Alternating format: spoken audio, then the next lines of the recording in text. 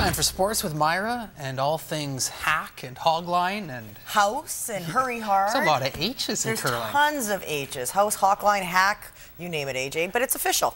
Victoria is the center of the curling universe for the next nine days anyway.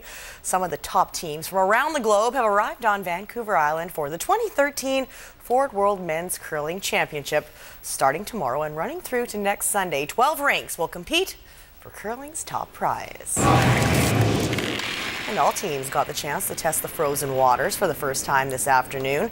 There's our Canadian team, the Brad Jacobs rink from Sault Ste. Marie, Ontario, making their world curling debut on home soil. Young Skip has cousins Ryan and EJ Harnden up front. And then the vice, or the third, right there. Ryan Fry is no relation, but he does have ice water running through his veins. The 34 year old is the elder statesman on this team and brings the most experience to the game. It's not anything specific that I brought. It's just we have four guys that gel, and uh, we made a we made a very good team, and everyone took over their positions.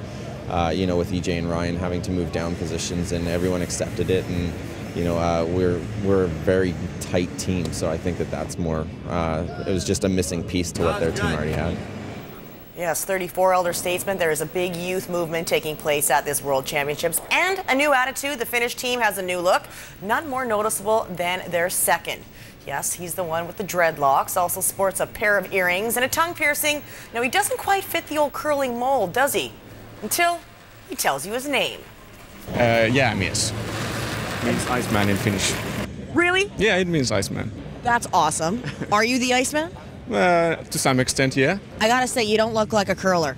Uh, yeah, we, we, we're a rare, rare species, us with dreads, but actually there's one more player in Finland who has the same hair. So you're a flashy, a flash and dash kind of guy. I, I guess you could say that, yeah. What about on the ice? On ice, um, I'm mostly pissed. Really? Yeah. Why? Uh, if I'm throwing bad or if someone else is throwing bad, yeah. And when you're out there, are you there to win? Of course we are. We're not here to be tourists or anything. Yeah, why would you come to Victoria to be a tourist? The nine-day curling craze gets started tomorrow. 11.30, we kick things off with the opening ceremonies. Canada's first game goes at 2 p.m. against China. And then on Sunday, they will face David Murdoch from Scotland. Hockey now, great crowd at Bear Mountain Arena, hoping that the Royals can pull even in their series with the Kamloops Blazers and those Royals, but have to rely on the likes of Jamie Crooks and Logan Nelson to fill the void offensively left by Brandon McGee. He was out with an injury. Four minutes into the game, Logan Nelson and Jamie Crooks. How you like that? 1 0 Royals.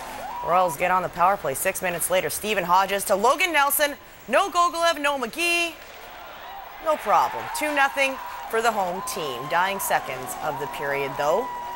The Loops get one back. Kale Kessy all alone to stuff home the rebound. 2 1 in the first. Kessy tied it in the second before the Royals tapped into more of that secondary scoring. Tyler Soy with the shot. Brandon Fushimi with the rebound. Soy Fushimi. What a delicious combination. Royals. Later in the second, though, Kale Kessy. Kale, more than a nutritional powerhouse. He's got the hat trick, and we are tied at threes. Royals had plenty of pushback on the night. Ben Walker on the power play. It's going to make it 4 3. Where are all these goals coming from? We're just about to party. However, the Blazers are going to tie this game up in the third period with under five minutes to play and outshoot the Royals 2 to 1 on one of those shots in OT. Eluded Patrick Polivka, Captain Dylan Willick. Right there, Royals are on the brink. 3 1 series lead. Game two, four, five tomorrow in Kamloops. Well, we are down to the final four in the BCHL playoffs after two hard fought series. The Alberni Valley Bulldogs the last island team standing. They have a good Friday date with the Surrey Eagles. Games one and two of the Coastal Conference Final series goes tonight and tomorrow on the mainland. Surrey will be a well-rested bunch. Their last game was on Monday. As for the Dogs, get this. Counting tonight's game, they will have played 11 games in 15 nights. Well, the trade deadline is looming. Cory Schneider keeps winning, and Roberto Luongo could be headed to Toronto.